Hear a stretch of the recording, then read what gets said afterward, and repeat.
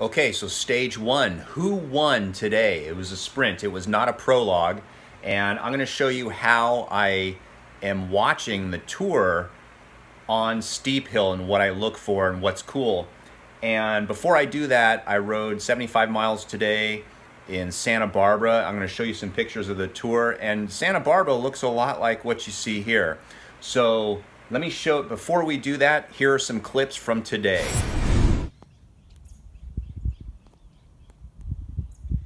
Now, I could be very wrong, but this is a little sculpture of a cyclist, and guess what this sculpture actually is? I think it's the mailbox. Yeah, because right there is the back of his butt, and it's the mailbox. And there's weird statues here, and can someone tell me whose house this is? It's 600 West something. I think it's Steve Martin.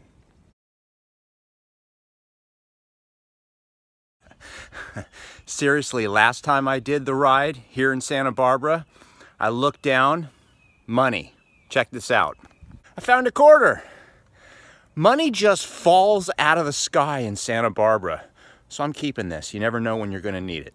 So spoiler alert, if you don't want to know who won, you want to do this yourself, then stop watching right now or watch it first and then come back to the video. So let's look at this. So this is what you get with the um, Steephill. And if you want to know the results, you click right here. So they don't actually tell you, which is kind of cool. So sometimes I could go through this stuff. And what I get to see is the NBC Sports one minute in English, and everything else is kind of restricted. Also, last kilometer you get 50 seconds from FloBikes. So that's cool. You at least get to see the end. But what I like, and you could find out who crashed and stuff like this. My favorite part of watching the tour on Steephill is this thing right here, the on the bike highlights. So this is pretty cool. And of course, it's unavailable um, but most of the time you can actually see it. And the photos, the photos again, sometimes kind of funny. You can see right here the preview of the cars.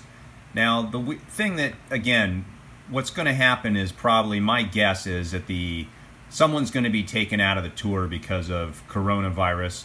And here this guy is, he's on the podium by himself with a mask on.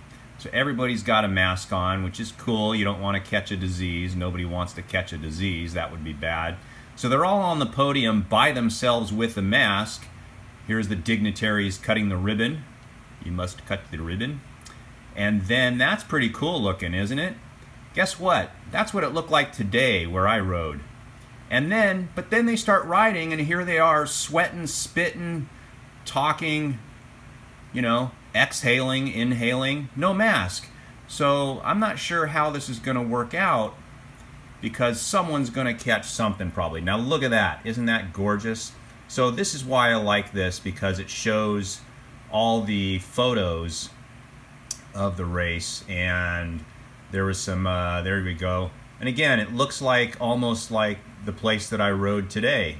So guess who won? Alexander Kristoff.